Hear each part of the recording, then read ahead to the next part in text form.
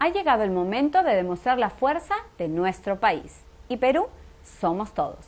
Mantengamos la calma y recordemos cómo permanecer a salvo. Si estás cerca a un río o quebrada, evacúa hacia las zonas más altas o alejadas de su cauce en cuanto recibas una alerta. Recuerda que el desastre no es un espectáculo. Evita tomar fotos o videos. Podemos prestar ayuda en caso que veamos algún afectado. Sabemos que hay mucha información fraudulenta, por eso estemos atentos confirmando nuestras fuentes de información. Evitemos difundir falsas noticias. Si tienes necesidad de comunicarte, evita llamar.